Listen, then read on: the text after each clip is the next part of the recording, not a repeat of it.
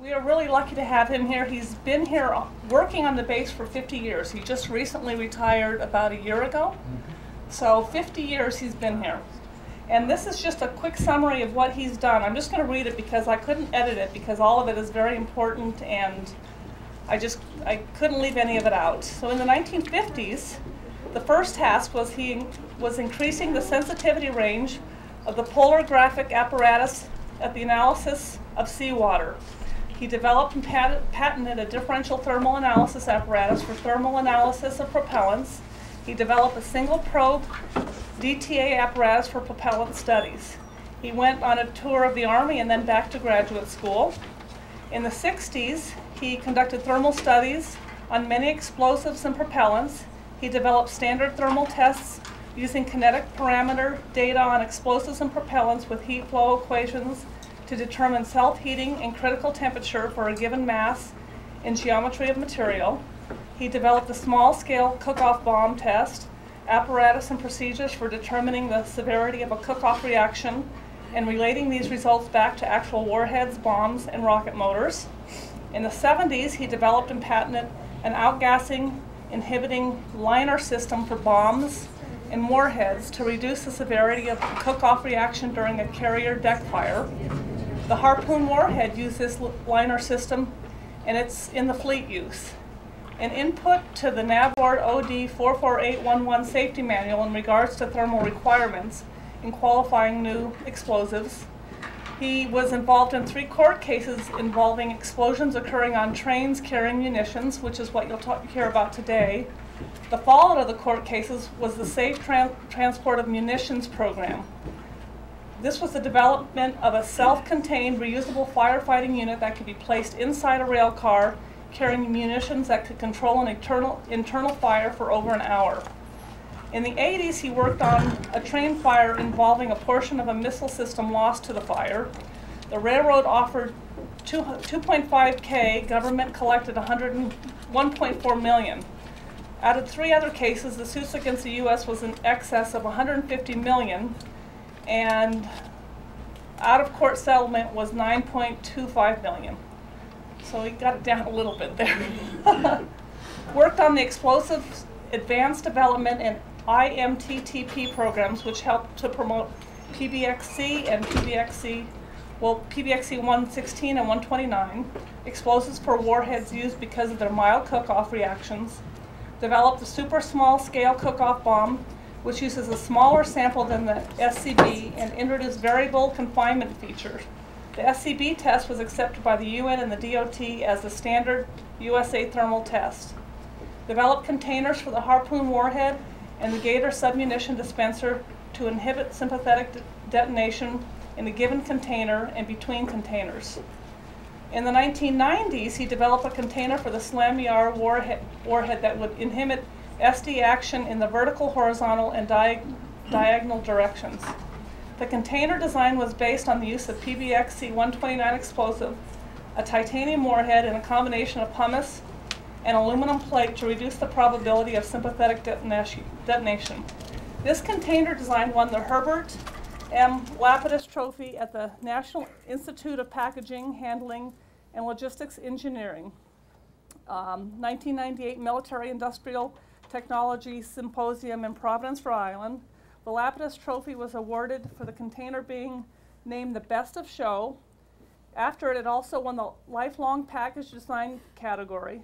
Besides the NIPHLE honors, the container also received a Judge's Award of Merit from the Institute of Packaging Professionals in the 1997 Ameristar Packaging Competition held in Anaheim, and a World Star Award from the World Packaging organization in 1997 competition, which was judged in Prague, the Czech Republic, and awarded in Mexico City. And he's current, well, I don't know if he's currently, but he's probably done with this, developing a technique to measure the critical mass of a given gun propellant as part of the predictive technology program. So you guys can see he's been really, really productive and busy over all these years.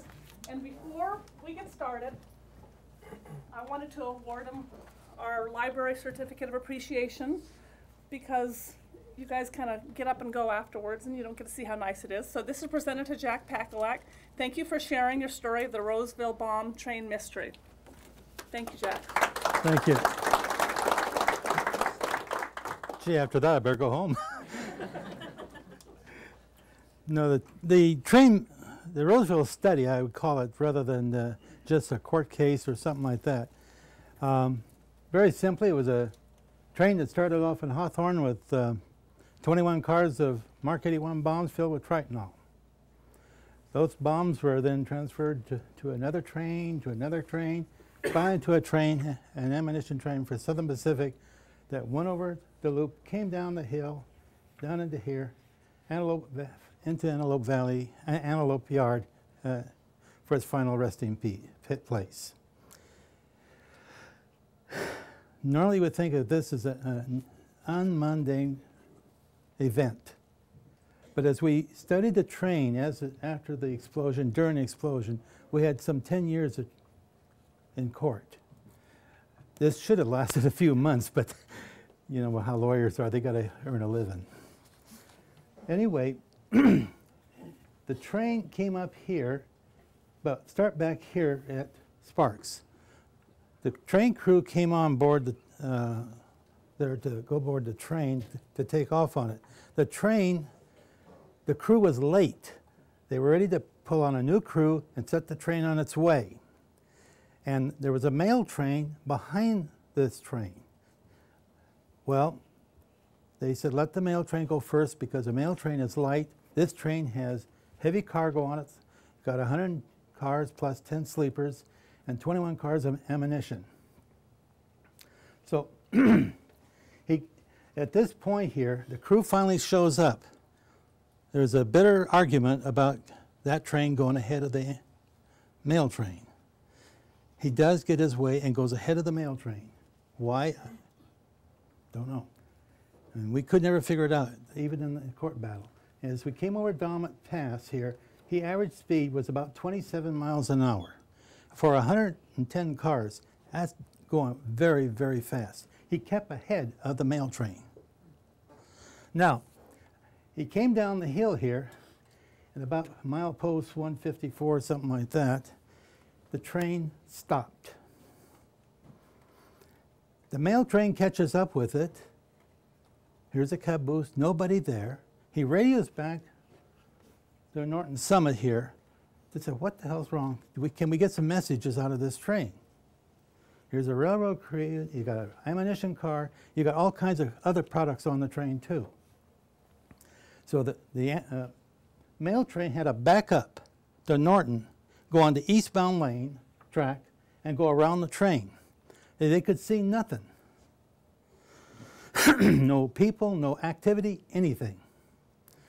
So the train goes on down the hill. Well, the crew reported later that they had some trouble between two ammunition cars. And we wanted to know what in the world are you having trouble with an ammunition car? What was the problem? Well, as we get down into the area here, this train takes off again after an hour and a half stop, catches up, of course, some time lost for mail train coming. He catches up with the mail train. We didn't know how fast he was going. Well, one of those things is there was somebody out on the yard recording the, uh, the sound of the train coming down the track. It was a young kid and well, young kid, anybody under 50, was uh, recording. He had his uh, dual his dual amplifier, so that the noise was not. Uh, um, they call logarithmically dec decreased it. So it just stayed louder, louder, and louder. and what he was doing, was recording it because he had a model train he wanted to have this uh, uh, sound with uh, a few years later, when we got hold of, we had hold of the train, we no uh, soundtrack. We didn't know what to do with it. Here at China Lake, they had the Doppler effect. Doppler effect, I think that's right. Anyway, they were able to measure the speed of the train by the increasing of the sound coming to it. At the time this recording was taken, he was going not quite 35 miles an hour. He should have been doing 22 and he caught up with the mail train. How we know this? The train tracks has warnings on it. He got two yellow warnings. The next warning was red. stop. You bring that train to a halt. That's somewhere it's in here someplace. He brings it to a halt. So uh, he comes down. The rest is pretty immature. He goes through a hot box detector. And of course, we're interested in the hot box detector because a hot box detector has two ways of looking at. The floor is um, a heat source, but it's the reference point for a, a gas type uh, IR detector. It looks at the floor, and that's the standard. Then it looks at the journal box and to see if it's hotter than the floor. It should be a little hotter. If you got roller bearings in the uh, gear train there for the wheels, it is quite a bit hotter. DOD uh, cars at that time had what they call brass, or a bushing, brass bushing oil in rags. It was much cooler. so what we were looking for, did we have a hot box in that train coming down? 21 cars. They were cooler. They were the coolest uh, boxes, uh, hot boxes on the whole, of all the train. There was back in this train here, as it was pulled into the Antelope Yard, about halfway back, 50 cars, there was one car where I, I, had a chance of reading the, the hot, box recording, and I thought I saw this one thing. I said, "Why is my reference point different than my box?" The guy looked over and he, said, "Oh, the floor is on fire." The floor was hotter than the journal box. So this car is back here. Now, we have people on the way. You can see there's on the other map there is people pointed out seeing smoke coming out of the car. One was a railroad man. He saw the train coming around. About halfway up the train, he sees smoke, and uh, he didn't see fire, but black smoke pouring out of the train. Our ammunition cars are located very close to the front end. Only a few cars from the front end, about five, 15 cars from the front end. The train, as I said, it was 100 cars long, but in the middle of the car there are three pusher units. So they were behind the pusher units. And apparently the fire did not catch the eye of the engineer in the pusher, car, uh, pusher uh, locomotives. Best we can tell, he was asleep. And it, he paid for it. He got, got drunk. Was this at night? It was Saturday, Sunday, April 27th, 28th. Daylight saving time changed. right here. So it was after, it was like one to two in the morning. Yeah, it, well, two, ne- see, which hour never occurs? Two? It becomes three? So that was a kind of a mix-up on the time. Sometimes people seen it because the railroad stays on railroad time. You can't change time on a road going across. It has to stay on time. So you do have corrections here daylight time, standard time given on the track there. So we would keep notice of that. Um, the um, coming back to this point where the train was stopped, um, we went back up to the area where it was stopped at with the lawyers. Um, probably should have asked permission with the uh, railroad company because they don't like you going on their property. Um, they carry high-powered rifles. I've been fired at once. They missed it completely, made sure they hit a branch up there pretty high. I got the message. I left. But um, we went back up to this point where the train stopped. Uh, every, anytime a train at some point and it stops, it is well marked on recordings and stuff like that. There's, a, there's all kinds of things probably within inches where the front end of that engine was. So we went back and we walked up the train and said, what in the world? Was there a fire here someplace? Because we had some burnt wood. We went back about 50 cars or so, and we looked in the side of the hill, and there was a cavern going into the, uh, like a, an old uh, tunnel or something like that. And there was tire tracks there. So we looked at what is in this car. He pulls out a sheet, TVs and hi-fi. We didn't know at that time, but as we went into the court case on this thing, Southern Pacific was allowing the people testify against the government or whatever they want, they thought they could do for, they thought they were doing something famous. In the meantime, Southern Pacific was working with the FBI with uh, um, dark light or something and catching all these people stealing. So after they testified on the witness stand, they were arrested and put in jail. You know, they,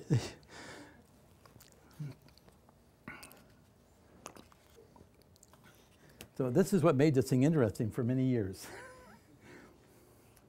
um, as we came in into the uh, Roseville Yard, the Roseville Yard is about six miles long, and it ties into the Antelope Yard, which is about a mile long. And what we have here is the front end of the mile uh, long Antelope Yard. And you can see some of the pictures here and just give you an idea. The train moved in at 7.05, parked at 7.05, and up in this region in here, we got a can factory that took aluminum and steel cans and melted them down and separated out the metals. So they saw smoke that morning. Some said they saw it at, at uh, 7.15, 7.30, but um, the SP workers always had to report back to the boss to make sure they had the right number. And they never came back with the same answer. Anyway, the smoke came out.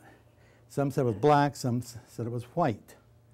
Well, probably if you saw the news recently, black and white smoke are hard to tell apart, even when they, they try to go for a pope.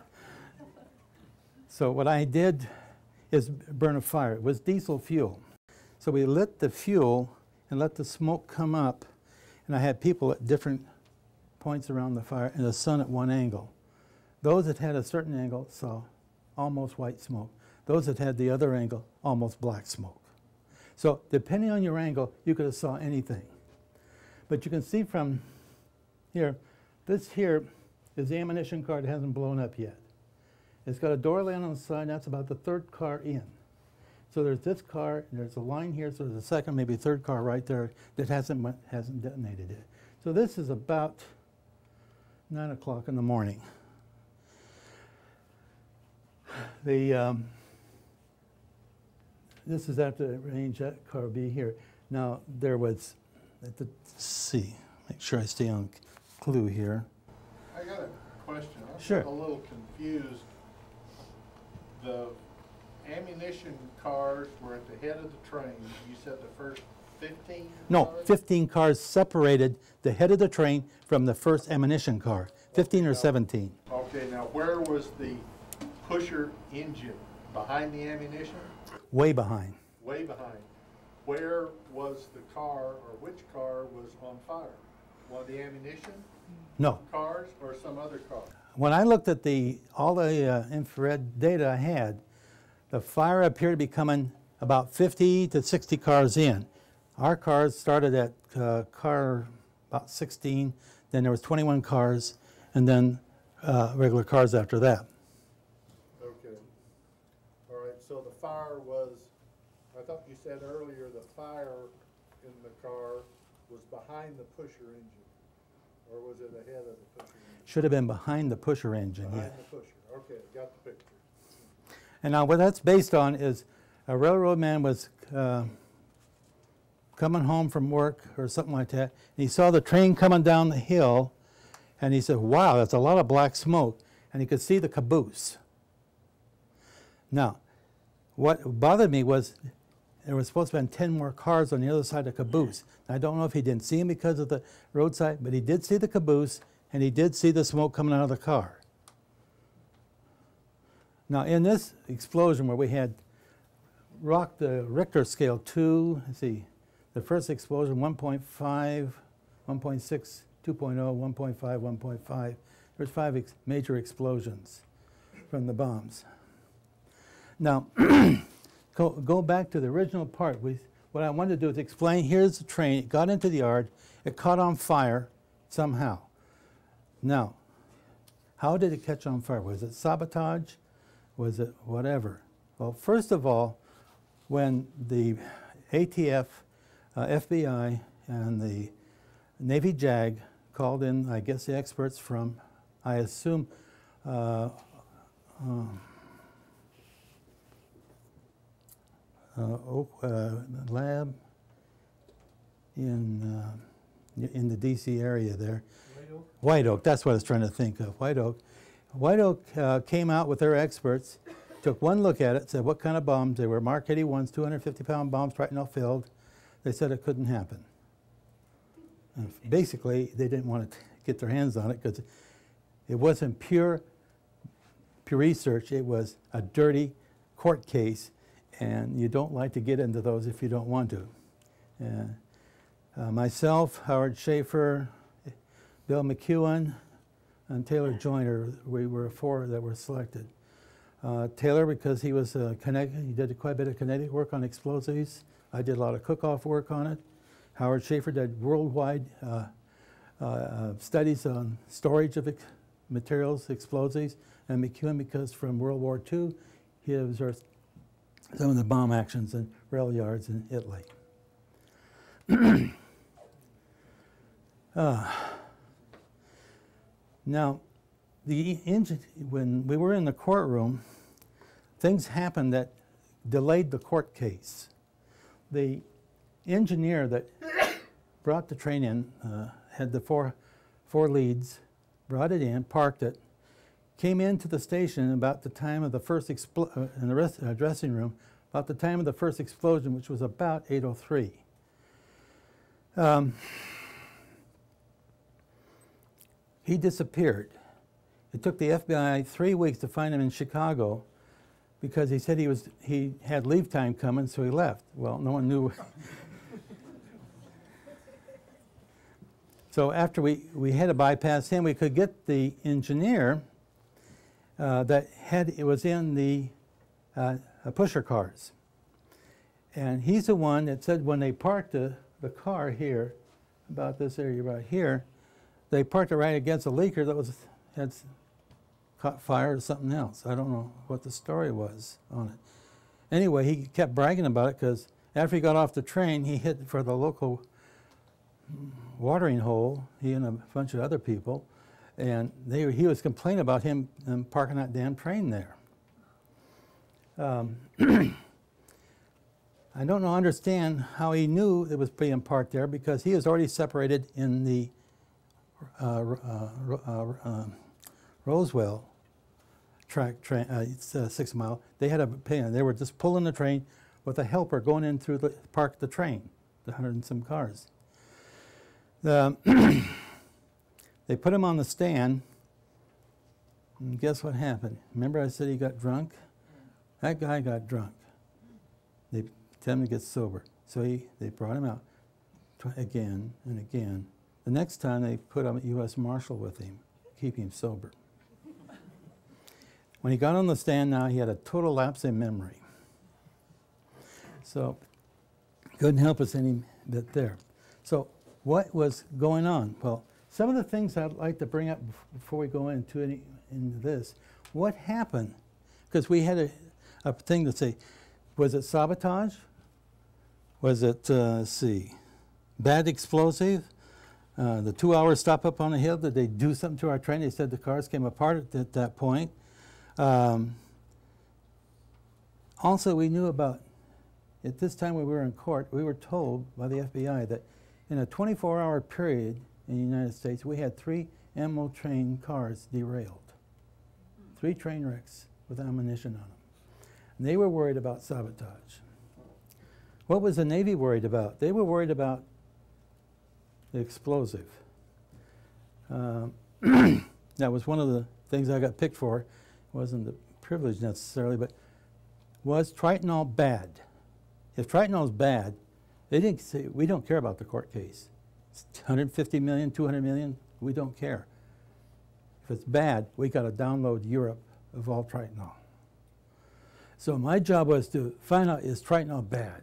And we I pounded that in down the track, the start track, ran bombs into bombs, you know, popped them up in the air, down, bang, took, uh, took them to Tooele, took a saw and run through a dry saw, bomb after bomb after bomb, just run the saw through it. Sparks flying all over, never a reaction. Then taking a bomb, dropping on another bomb 50 times till they split apart and no ignition.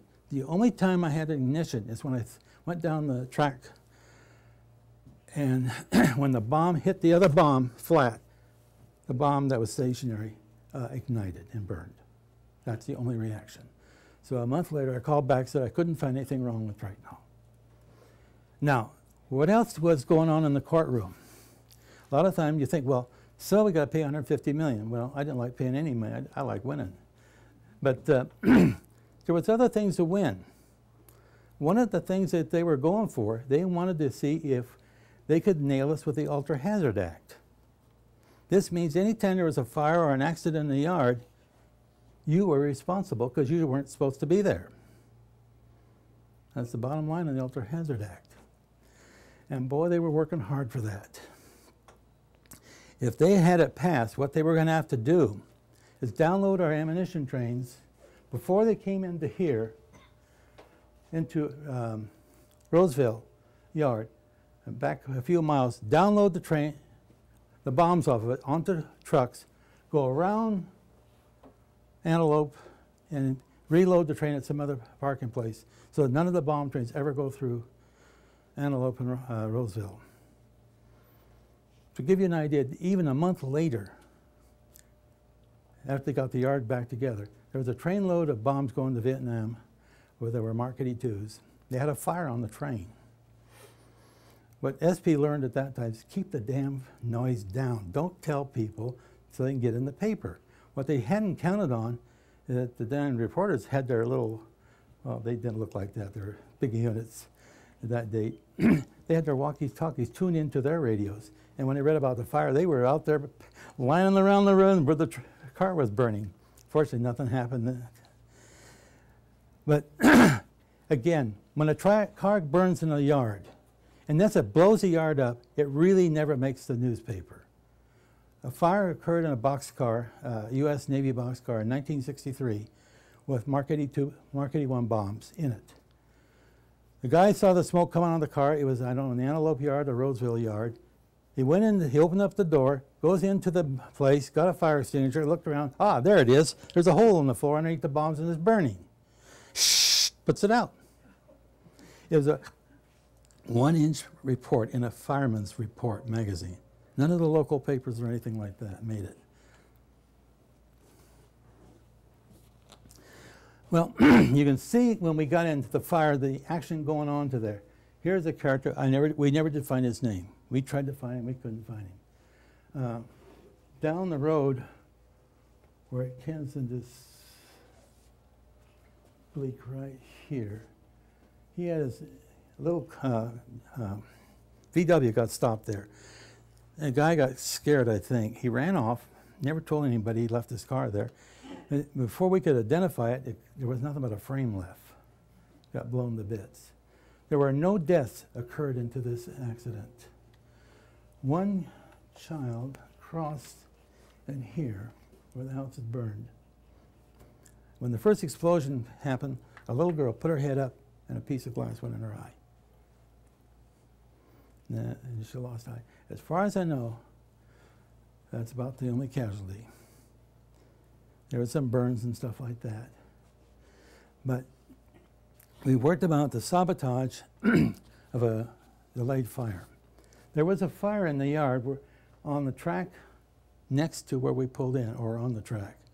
That's track A7. We had our cars on there, and track A3 was where the leftover three cars that survived the fire.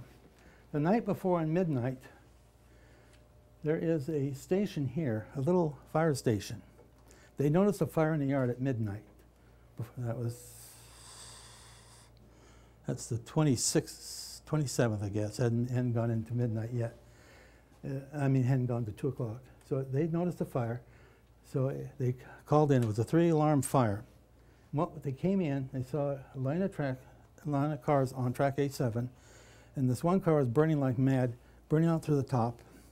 It, it was a sulfur car on fire burning and boiling sulfur It was popping down on the ground and stuff like that.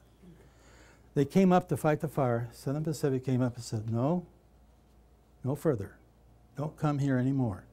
Well, I was worried about the next day of parking our car on that same track with any burning and incinerators down in the, uh, in the waste there. On top of that, when I went into the track again, I noticed that anytime I put my hand down into the track, I went into about that much oil or fuel oil. It's covered between the rails. It just, it just drips in there all the time. And if you got, if you think fuel oil is easy to ignite or hard to ignite, what I did is I took a little bit of pan of uh, diesel fuel and put it, hit it with a torch. It took me a minute to get it to go. Put a rock in there so it breaks the surface.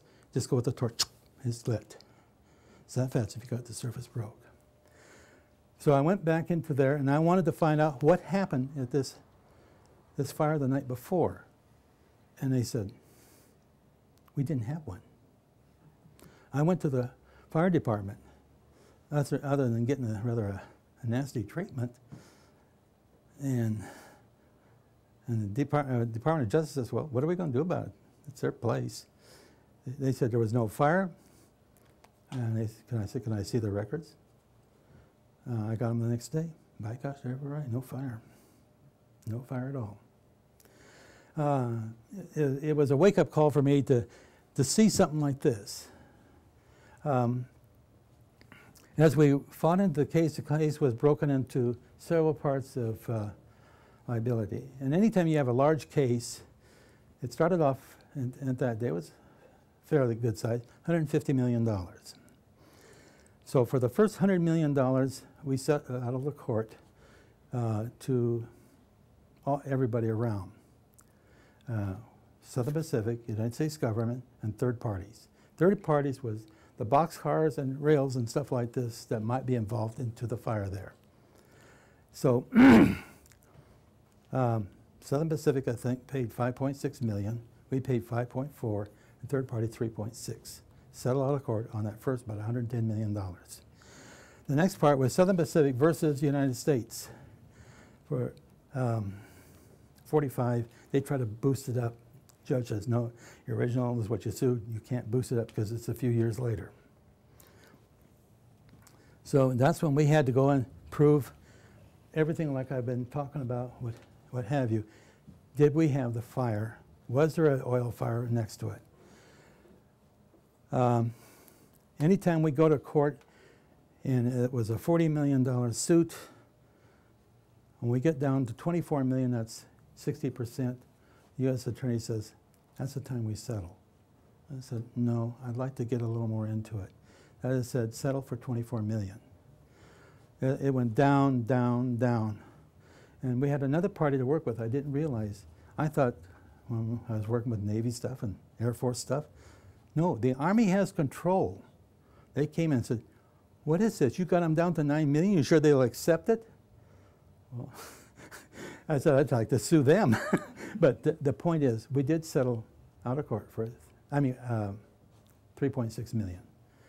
There was a, uh, a, a, reaction down in the, New Mexico. Another train caught on fire down there. Southern Pacific sold us for 4 million. Uh, and after this Roseville case was closed, they opened it up. They came up to the U.S. attorney and asked him, could we settle for the uh, nuisance fee? And he says, well, yeah, that's a 100000 And they took it. They wouldn't even go to court with us. But anyway, um, no deaths. I learned an awful lot about bombs. And we had the, the one other feature on this was the bombs wouldn't react that way. Mark, 82, Mark 81 bombs are 250 pound bombs, 100 pounds explosive. So we heated those things and got them to detonate other than by a booster in the design manner. We could get the bomb in a pellet to react violently and give a detonation. But where we found out is in a pellet, the bombs are close together. So if a bomb is by itself, it doesn't set off much. If a bomb's over here, it doesn't set off too much. But if you got in a pellet, when they go at that diagonal between the bombs, that squeezes that pressure going in. So if it's got another bomb on the other side, good chance you're going to initiate it from frag initiation. We found out another thing. The fuse wells are open. They're not packed or anything. And that fuse well will squeeze, and I want a picture I had of a detonating of a GP bomb. I found a jet, oh, about that long, about that big around.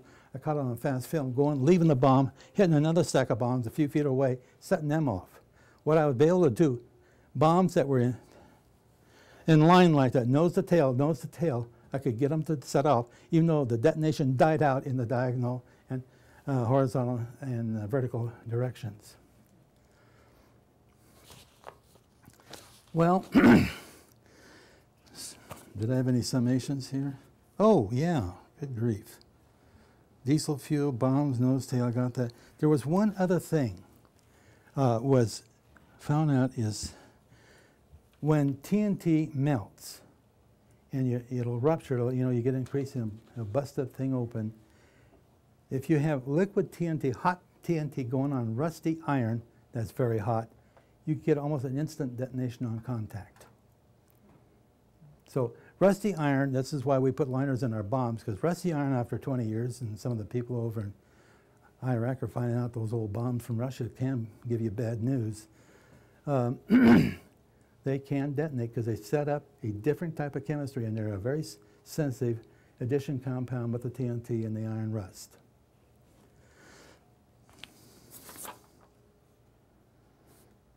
The leaking tank was our best idea of what happened there. That's what I came to conclusion. It was parked next to our car. It was on fire. It caused the, the initial explosion and follow-on explosions. I think the fact that I could pass from car to car, either for the fuel on the ground picking up, but some of the cars detonated within a few minutes. It would have been better if it had been a few seconds, but a few minutes. It would have been better if it had been a half an hour. No, some had to get that fire through. Another car.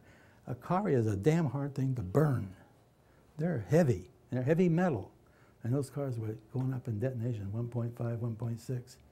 The two was one by itself. But anyway, the idea is that these cars could have these different times, some short and some an hour long. So we had a pattern in there to understand we have a fire and stuff. So a lot of the designs we have now, we've stopped the booster shooting the, jet through the fuse wells. I hope we have a few other things like that. Any questions? It's still not clear to me if the contention of the railroad was that that car that was behind the pusher was the source of the fire that made the bombs go, or did the fire come from somewhere else? As far as the railroad was concerned, they weren't any concern other than they didn't cause anything. They, the, I, I've uh, worked with the railroads on uh, five different court cases. They give you nothing to talk about or to arrive at. But um, could that have been the fire source? It was pretty far away from our ammunition cars. Yeah, it was a floor fire, and it may have went out inside the car. Smoke was seen in the yard, but we don't have enough pictures to, to in other words, this smoke like this that occurred in the yard, that muffled the whole area. I mean, if you have, I have a videos from the top, and that picture from the top, that place is just black smoke. Any whiffling smoke from a car uh, 50 yards back is not there. Also, they did uh, start pulling cars out of there uh, when they can uh, disconnect. So 20 further cars, they did pull them off the tracks. Now, a lot of gas, there was a lot of tank cars in there. We didn't know what they were, petroleum or they were liquid stuff. It turns out they were tomato paste, ketchup. And we had a bomb went into one of them. And the lowest ranking EOD member of the crew had to go in and sneak that damn bomb out of that. It's been sitting in there for a week.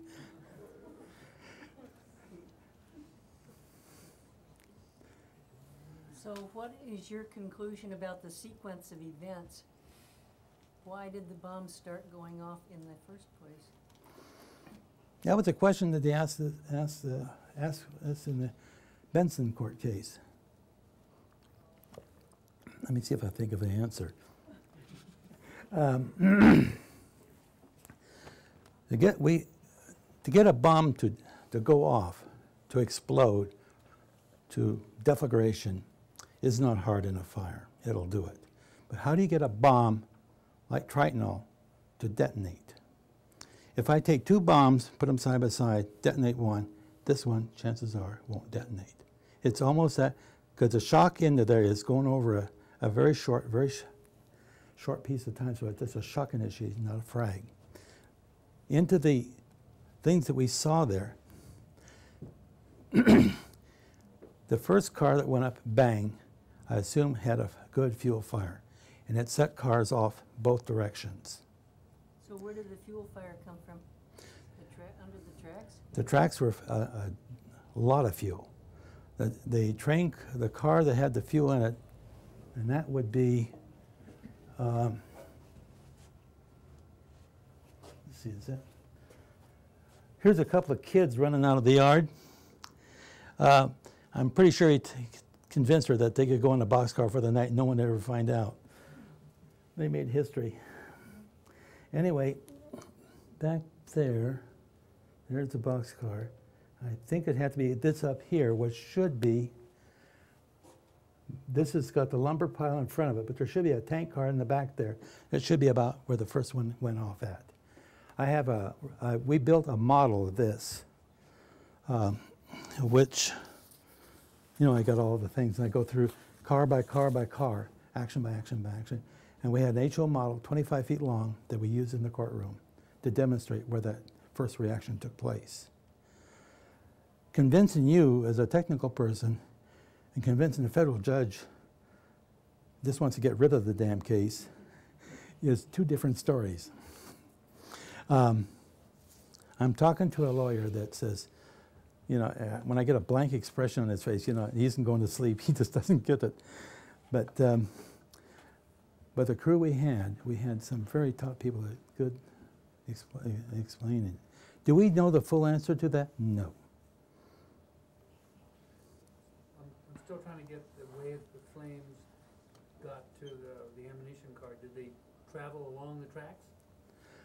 and all of the debris that you get from, from Best we can tell, there was an explosion in the yard, we believe before the first, let me see if I got it.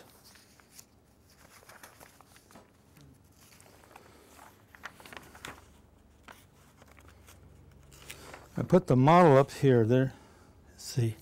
You had a flame and it tossed what we're going by, there was a witness up on the hill, which would be uh,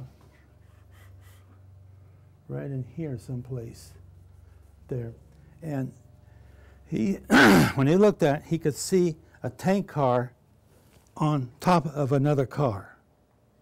And as far as we could tell, that was a either gasoline or a, a petroleum car of some type. It wasn't pressurized gas, we knew that. And it was burning. So, what was the first reaction? Now, the first reaction was not going to be re- recorded on the um, seismograph, because it's not, that's not even noise. But what would happen would be, is people were in the yard working. Now, as I said, people saw all different things. But before any one of these people would get into a, a, a statement or a, a deposition, they had to have their SP lawyer sitting alongside of them. And their story was very cute, very direct. And a lot of them would repeat word for word each time they said it. And they would, some of them were very nervous about what they said. Um, so we don't have what I would call reliable data of people observing the first fire. I don't care what color smoke they had. Did you see smoke at 7:30? The tr- train was parked at 05. For an hour to go from a train to having a car detonate, you have one hell of a fuel storage underneath that car. Because I tried it with a real car, with real ammunition, with a lot of fuel under it, and you just don't bang them that quick. You have to have a massive amount of fuel. So, do we know the answer to the first question? No. We have the tank car sitting up there. We have a picture of it up there. Some of the pictures I had were turned over to the other side and they disappeared. Um, don't trust honesty in lawyers. Um, also, when a lawyer gets good and he looks like he's winning the case for us, we lose him. They pull lawyers as fast as they can. They say, no, you're not there, you're gone. You may get a totally different one, you don't know, but you work with them. Um, the tank car rupturing, burning, lining up against an ammunition car is the best we can tell right now. The pictures are remnants of the reaction in there. Now, we only had a short time to go in there. They came in there within hours of the last car blowing and picking up the wreckage. We stopped them for a while to pick up the bombs. I watched them while they were filling craters, and I could look into the craters. There were bombs down in there, and they pounded them right down in the ground. I went around the area, uh, local area where they would be. Um, I could spot where pieces of explosive TNT, because it's characteristic when it rains. And you just kind of look, and you look for a brown spot with a circle. That's your TNT spot right there. And there, it was loaded with TNT or tritonal all through there. Tritonal is TNT with 20% aluminum. Any help? Uh, Uh, You said that the hot TNT uh, and the rust reacts. Uh, Did you run the test with or with pure TNT? yes. Well, it's hard to run at the tritonal because tritonal, the aluminum doesn't melt. It just simply carries along with it. The original work was done by Robertson back in 49 of liquid TNT going on, down and exploding on hot metal iron. And the TNT will react with the by itself? Yes. Yeah, if you got a rusty old bomb. I understand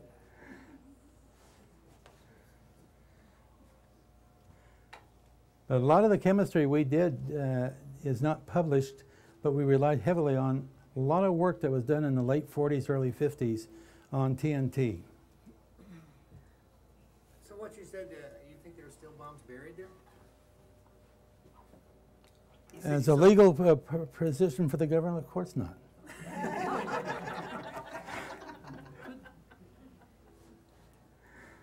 Is there there? Dig them up.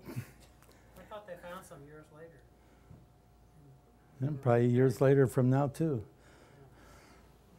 Um,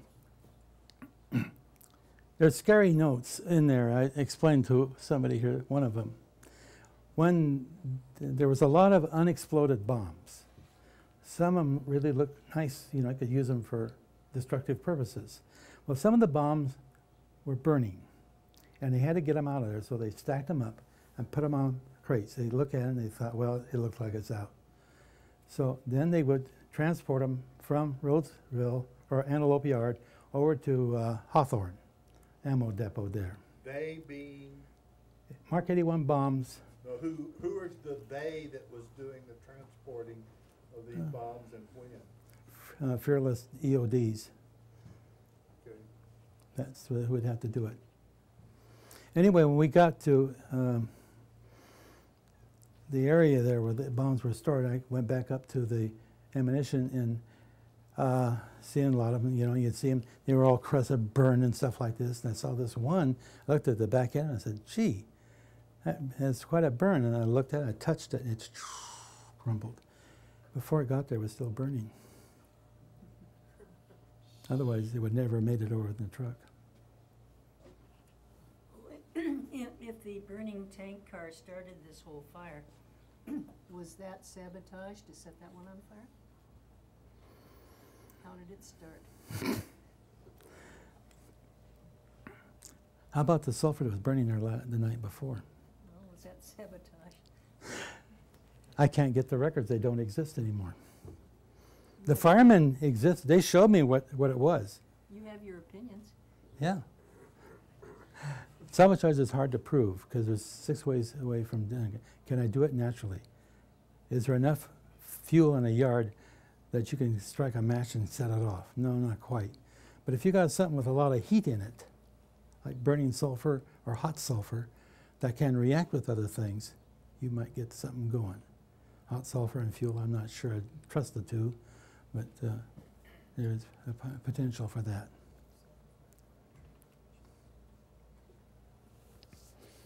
Well, it's been 30 years. Every 10 years we used to meet, but we haven't met this. I don't think we'll meet this time. It'd be 32 years, I guess. I don't think we met at the last 30.